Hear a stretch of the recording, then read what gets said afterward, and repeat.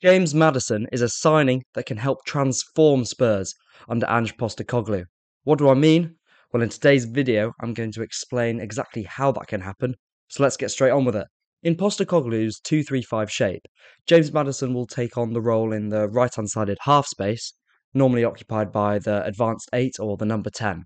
And the reason I say number 10 is because the modern footballing way, um, these right-hand-sided half-space players occupied in Pep Guardiola's, Mikel Arteta's, Roberto De Zerbi's, and many more, including Postecoglou's systems, this right right-hand sided half-space player is often balanced out on the left-hand side by the number eight, required to be defensively much more switched on and useful in the build-up dropping deeper.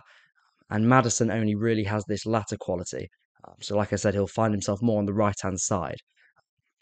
So for Maddison to Spurs, think a more specialised number 10 role, not the typical ability to roam in behind the whole front line, uh, but more occupy a specific area of the pitch and dominate it. That's what James Maddison can bring to Spurs.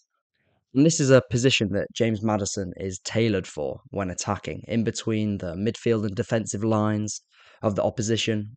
In the deeper areas, he has the half space crossing and the progressive passing through the lines. And when in and around the box, he has that clever movement and importantly, I think the desire to break the lines and get in behind. And certainly the ball striking to hit the ball across the goal from that right hand side.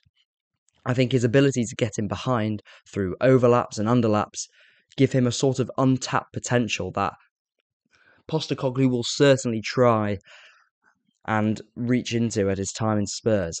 And look, imagine him, I think, combining on the edge of the box with someone like a Dejan Kulusevski out there on the right hand side. That dynamism will certainly uh, get more out, out of the Swedish international, um, I think, as well. Kulusevski is another half space crosser, um, but I think with another man, uh, another dynamic runner in behind next to him, it will give Spurs a better chance to break sides down and not just looking all the time for Kulusevski. Suddenly now defenders have to think about a runner off their shoulder. And really, Maddison is the first behind the lines player Spurs have. I know Son can do it uh, to an extent, but that's coming off the left hand side into central areas.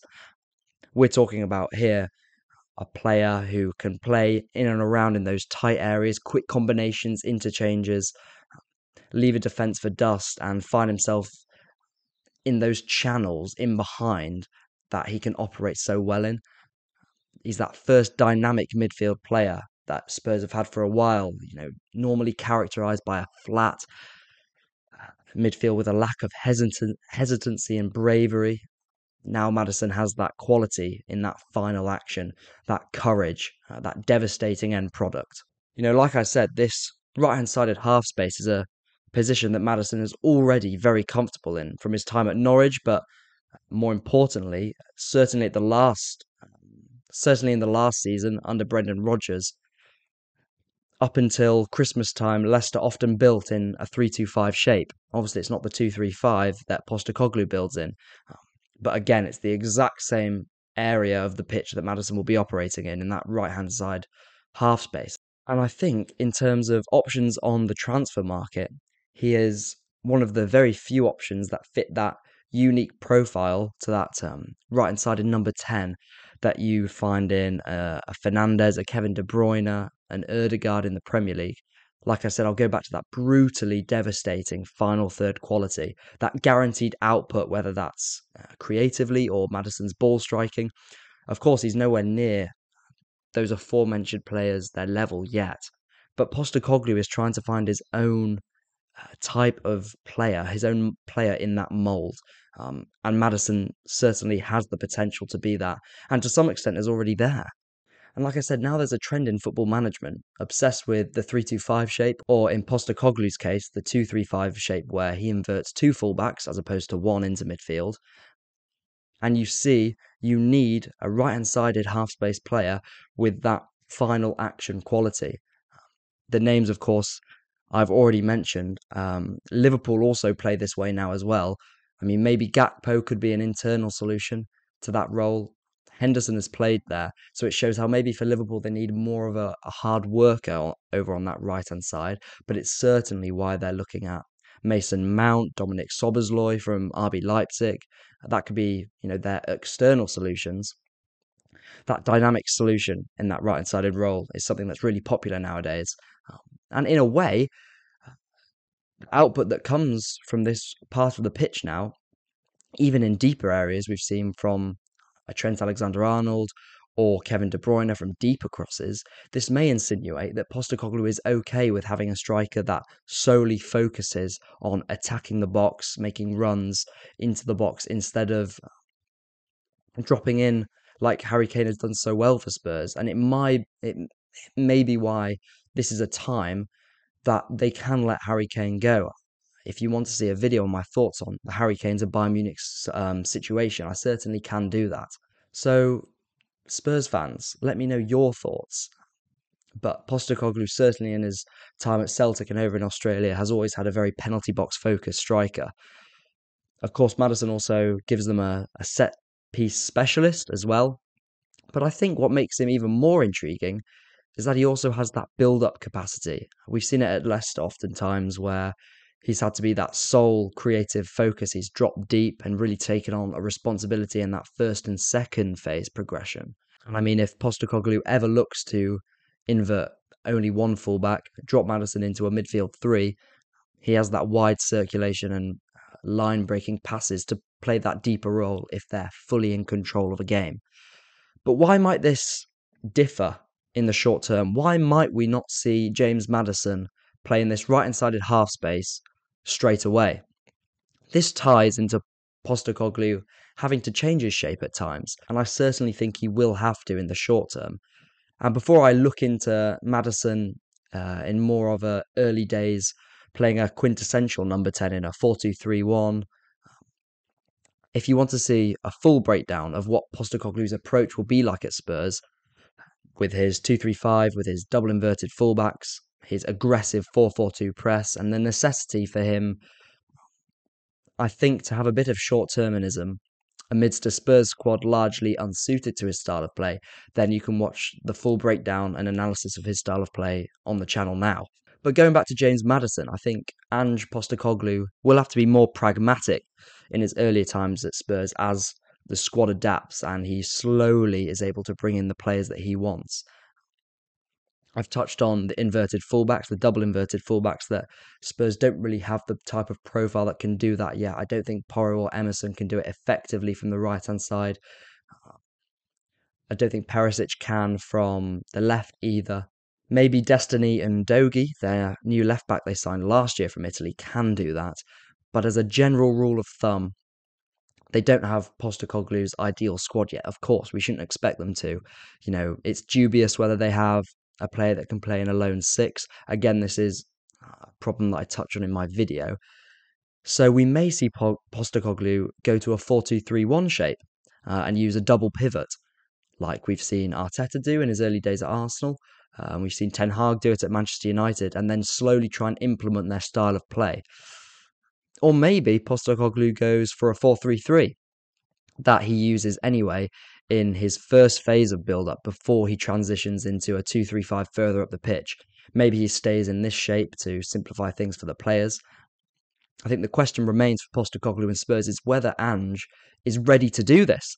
He's still an unproven manager at the top level, of course, he's unproven. Um, but he needs to be given time. And this is a big part of whether he'll be a success at Spurs or not. But he is part of that. He needs to show a level of um, pragmatism and short termism in order to ensure some sort of results early on in his time as manager. So, in the case of James Maddison, in a 4 2 3 1, he'll play a more traditional number 10. Again, suits him as he loves to drift and roam around, occupy the left hand sided half space as well. We've seen him do that at Leicester very often. So, I think this is why he can be such a, a brilliant signing, whether that's in the advanced eight, a right hand 10 or a more typical creative outlet, Maddison can excel. And this ability of him to be so useful and elevate a team to the next level for Postecoglou, whether that's in the short term or long term, almost makes him a sort of dream transfer in a way. And it's why Spurs fans should be so happy. You know, you're getting your own caliber and mark of player uh, that we've seen on the right hand side in the right hand sided half space the top teams go for so regularly now. In European football as well, you've got your own player that can take on that mantle and try and develop into that sort of player in a James Maddison. and also someone who can help you short term. So I am, even as an Arsenal fan myself, a big fan of the signing. But I don't want to love up James Maddison all the way. I want to also provide a, a balanced uh, scouting report, and I want to offer potential areas of his game where he can still improve playing in a Postecoglou system. I think offensively, of course, he has the ability to become one of the best in the league.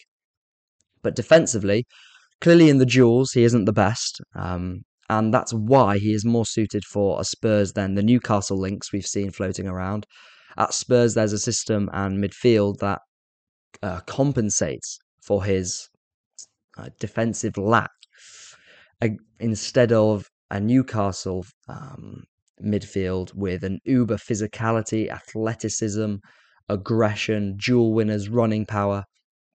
Um, and again, the right hand sided number eight or advanced 10 role in Postecoglou's system, this modern 325 or 235 isn't required to be as complete as the left hand sided eight, which we've already touched on. And then whether he plays with a double pivot behind him earlier on, this isn't this defensive lack in his duel winning, you know, maybe positional awareness side of things, isn't as much of a worry than maybe some people have aired. I would say the thing that is a bit more concerning and somewhere where Postecoglou will certainly try and develop, um, we've seen the questions around his work rate. That may seem trivial to some, but Postecoglou will look, you know, he looks to aggressively press. At Celtic, he pressed um, oftentimes or most times in a 4 4 2. The ball side 8, which in James Maddison's case is the advanced 8, advanced 10, um, is often required to press through tenaciously with the ball side striker um, to press the player on with the ball, and the opposite striker tucks into the flat four in midfield. I think Postecoglou to sign Maddison must be convinced that this is a side to his game that he has. I certainly think he has that tenacity in his running, but in a defensive side, this certainly can be improved. I think overall his general attitude has improved over the last season too. Um, this isn't coming from obviously a Leicester fan, and I'd like to see if there, you know, if there are any of you watching, what you think of, you know, to that side of James Maddison's game. But he certainly has the mental side, which is very important in terms of believing in himself. And of course, you have to have that if you want to take the next step up in his career, which of course he's he's doing from going from Leicester, unfortunately relegated to the Championship, to now Spurs. And before I finish, I want to touch on a more intangible benefit that could come out of this Maddison transfer and what it shows the relationship between Levy and Postecoglou. Levy reportedly has been a massive part of this deal, and I think looking from the outside, this hopefully means that Daniel Levy is ready to give Postecoglou his full backing and time to build the squad he wants at Spurs. Some Spurs fans will say, finally. But I think Maddison is certainly a signing that fits this new dynamic era and horizon for Tottenham Hotspur as a football club. That they that Postecoglou can hopefully give them from this transfer window. And Maddison as a signing is a great start, especially with the other profiles that have been aired as reported rumours for Spurs over the the last days and weeks. Um, for example, Micky van de Ven, and also the new signing, of course, Vicario, the goalkeeper from Empoli.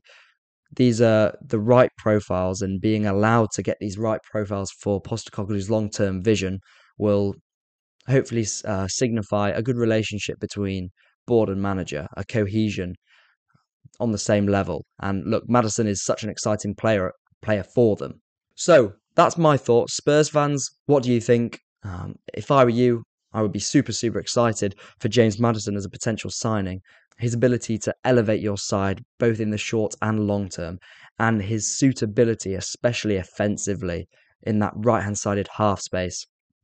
The ability to play in between the lines in tight spaces, to get beyond the line, to link up, combine with others. He can dominate that specific area of a pitch. Um, with his offensive brilliance. So, again, like I said, a super signing, around 40 million, a very good price as well, despite Leicester being relegated. So, all in all, a good start to business in the life of Ange Postecoglou. Thank you very much for watching. I'll catch you in the next one.